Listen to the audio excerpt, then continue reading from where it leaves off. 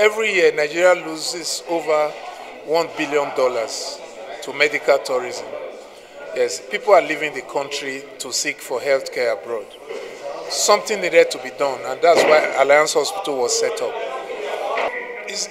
in a year, Alliance Hospital saves Nigeria over a hundred million dollars from medical, from stopping people from going to med for medical tourism.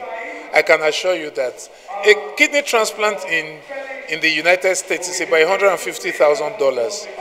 In in Europe, in, in in the UK, to do a kidney transplant is between eighty thousand pounds and hundred thousand pounds.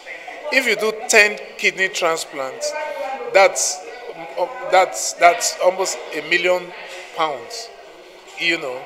And they don't talk about the, the spine surgeries, the joint replacement surgeries, and all the intensive care units, and you know, so on and so forth. And so we acquired cutting-edge medical equipment, as well as we retained the services of um, very experienced and dedicated workforce, medical team, medical resource for health.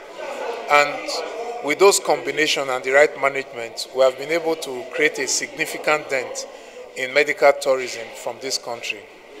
And let me tell you now that recently we are beginning to see a lot of Nigerians in the diaspora, in the US, in the UK. They are coming now to, uh, to uh, Abuja, coming to Alliance Hospital, flying in from the US and from I India and from other parts of the country to have their surgeries done in Alliance Hospital because they've, they've seen that the quality is there and yet it is very cheap.